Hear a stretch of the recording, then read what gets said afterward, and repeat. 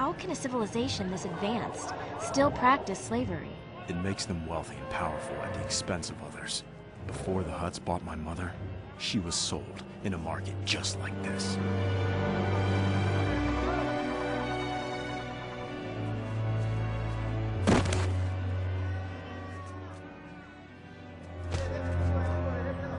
Get up, you useless scug.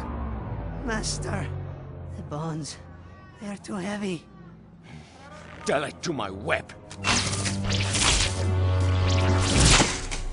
You don't want to do that. Oh, you dare touch me! Excuse my slave. Friend, she is freshly caught. Hmm.